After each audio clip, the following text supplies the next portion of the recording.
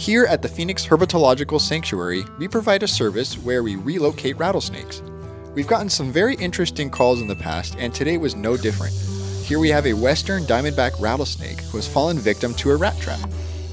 Andrew is on the scene to relocate the snake.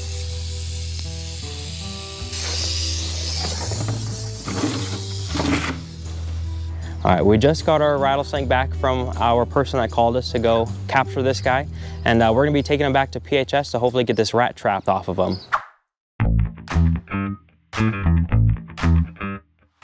Holy crap. Um, that's gonna be really interesting getting that thing off. I've never seen one in a trap quite like that before. Okay, yeah, we're gonna have to get him in the venom room and try to open the trap carefully and get his head out.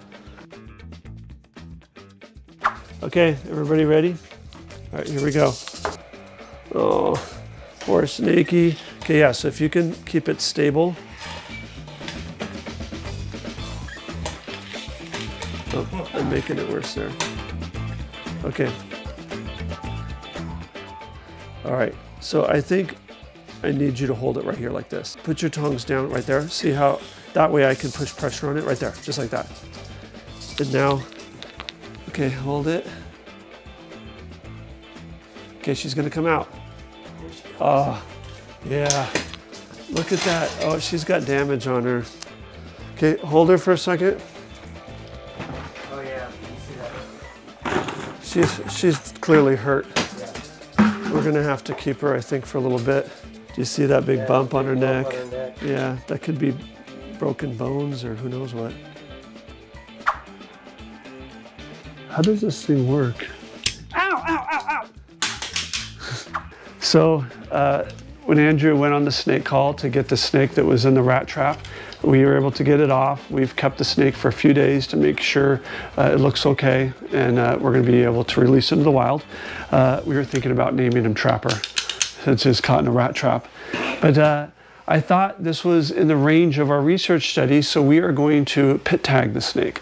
So I'm going to take the snake out right now. We're going to tube it. We're going to do all the measurements, research stuff, pit tag it, and then go release it into the research area, which is really close to where we did the snake call. This snake is now going to become part of research to see if they come back into the neighborhoods.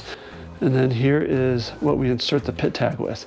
So that needle has a pit tag, which is about the size of a grain of rice. It won't hurt the snake.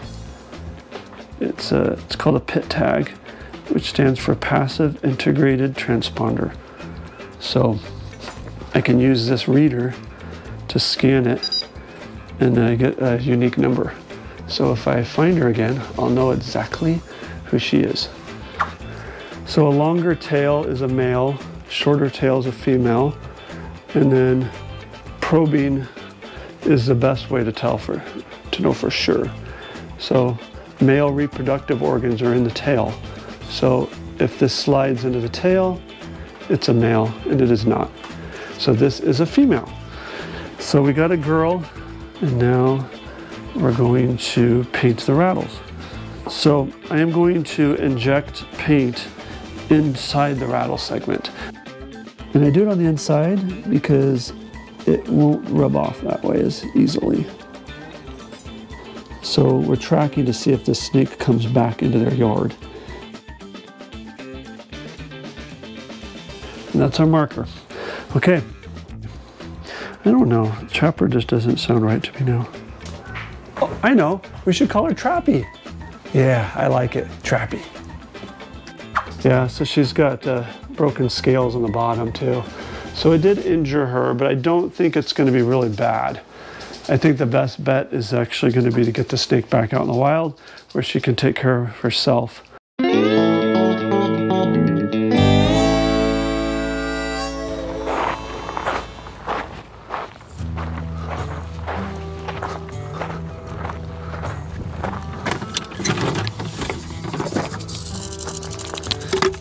Okay, sweetheart. You're gonna get to go back to the wild now. For more information on our rattlesnake rescue and removal services, check out our website at phoenixherp.com. Thank you for watching our video. We hope you enjoyed it.